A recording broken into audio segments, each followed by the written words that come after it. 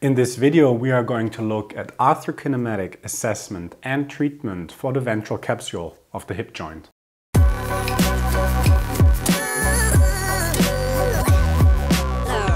Get our very own assessment ebook and mobile app. Links are in the video description. Hi and welcome back to Physio Tutors.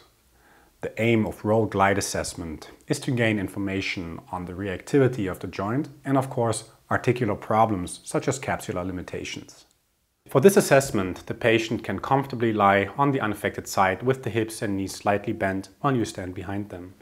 The leg is then brought into 90 degrees of flexion and you can hold on to the leg with one hand so that it's supported by the forearm and that you can let it move into external rotation to position the femoral head in the direction of the capsule. The other hand is placed behind the greater trochanter. Then the dorsal roll is induced by performing abduction and the glide is applied with your other hand in ventral and medial direction.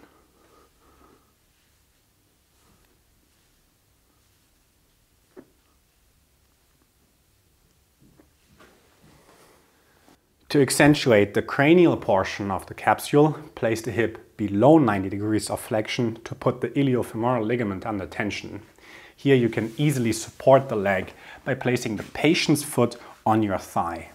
Then again, roll by performing abduction and add the glide in ventral, cranial and medial direction.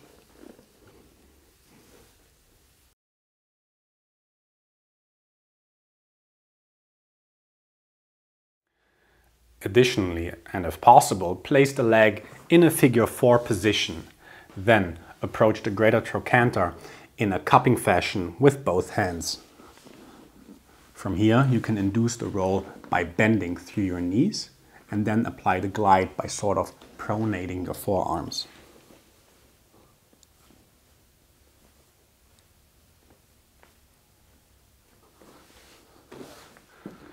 To accentuate the caudal portion of the capsule, the patient is again in side lying position. First and foremost, flex the hip beyond 90 degrees and make sure you can pre-position the hip in internal rotation. This will tension the pubofemoral ligament. From there, induce the roll by performing abduction and add the glide in ventral, caudal and medial direction.